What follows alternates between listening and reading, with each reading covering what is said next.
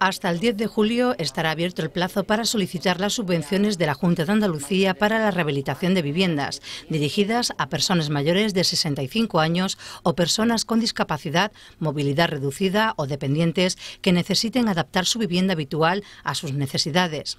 Las subvenciones serán de un 70% del coste total del presupuesto con un máximo de 1.400 euros, pudiéndose incrementar por los gastos de asistencia técnica en 600 euros. Las concejalías de Festejos y Cultura han convocado el concurso para la elección del cartel de la próxima feria de agosto. El plazo de presentación estará abierto hasta el 29 de junio y los trabajos podrán presentarse en formato físico y digital.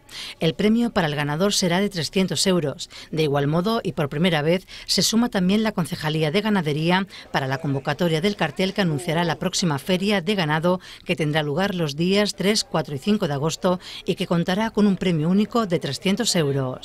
El Ayuntamiento de Coín ha abierto una nueva convocatoria extraordinaria de empleo para la selección de un mozo o moza de cuadra para la Feria del Ganado. El plazo de presentación de solicitudes estará abierto hasta el próximo día 6 de julio. Los interesados pueden consultar las bases en el tablón de anuncios del consistorio o en la web municipal.